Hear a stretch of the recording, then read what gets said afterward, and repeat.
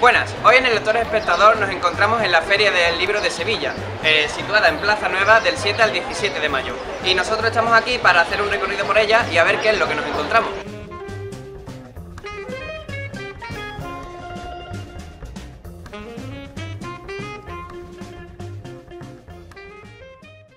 Hoy, para el lector espectador, encontramos la presencia de Manuel Jalón, que se encuentra en la Feria del Libro presentando su primera obra, La Tela del Ángel. Manuel, muchísimas gracias por participar en nuestra página web.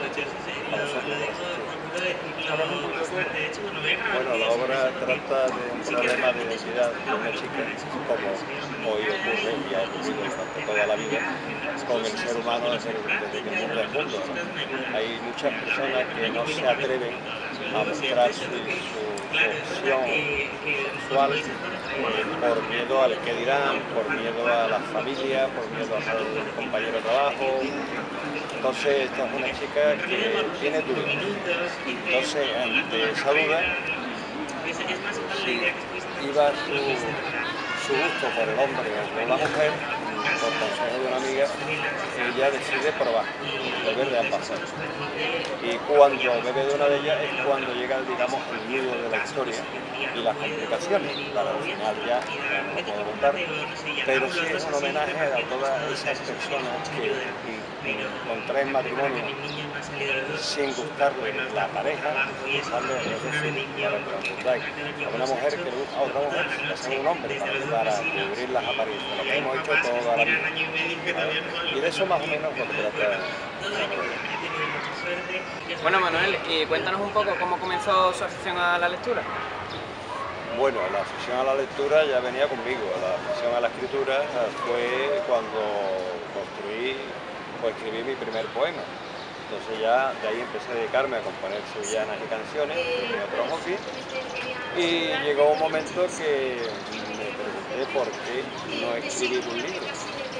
Hice mi curso correspondiente y una vez terminado pues escribí la novela, que a mí me gusta mucho, no es porque sea la mía, a mí me encanta, y aquí estamos luchando porque es verdad que es muy difícil la, la venta del libro lo mismo que la venta de discos. Toda la cultura ahora mismo eh, en este país se está reduciendo mucho al, al fútbol, a Ronaldo y, y, a la televisión. Bueno, el adjetivo Muy cierto, muy cierto todo. la la suerte. Maravilloso, Así que, muchas gracias. Gracias a vosotros. ¿Qué libro nos recomienda al espectador?